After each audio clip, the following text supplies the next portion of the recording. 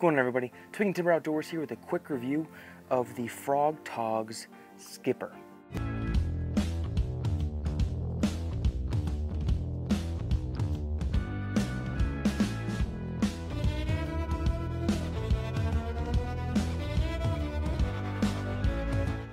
So I bought these shoes to kind of be my all-around get wet uh, boat shoe, but also at the same time like kicking around bass fishing or whatever. And um, there's some things I absolutely love about the shoes, but also some things that I would definitely change um, or seek out the manufacturer about. So first off, the shoes themselves came in at about 35 to 40 dollars, depending where you got them.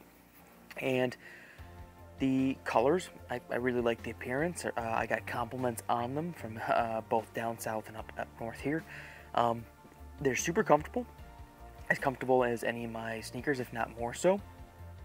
Very light, and um, you know the, the the sole and the uppers feel pretty substantial in that they feel like a good shoe, not going to blow out.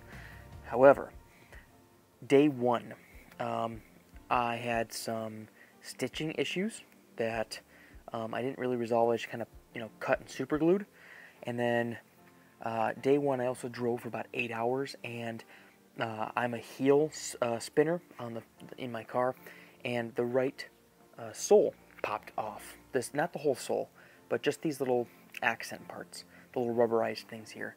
Probably not a huge deal. However, um, I just took some Gorilla Glue, pressed them, and I had to stay in a hotel that night. Um, clamped them, and then they, they were good to drive the next day. Uh, but still, they were literally hours new, and that was the first time ever wearing them. Um, I was bummed, to say the least. But other than that, the the, the shoes held up great. I've, this has been in sand, on on hikes, um, on pavement, uh, in the salt water, and in the uh, chlorinated pool water. Uh, I wasn't wearing them in there, but they just so happened to get wet during that time. And other than that, the rest of the shoe has been fine.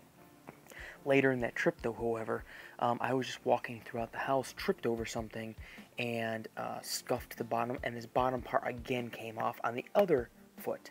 And so I don't know if it's just a weakness in the design on the bottoms, but again, I Gorilla Glued it.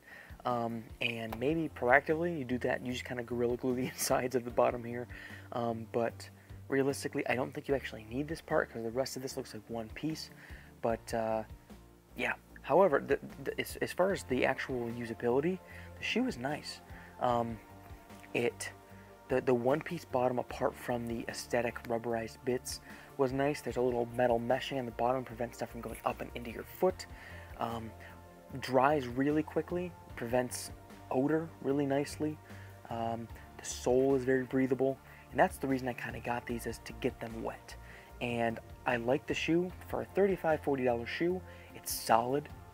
Um, however, if you're willing to put up with occasional nicks, dings, and uh, fixes here and there, it's probably worth your investment, um, albeit a small one at that.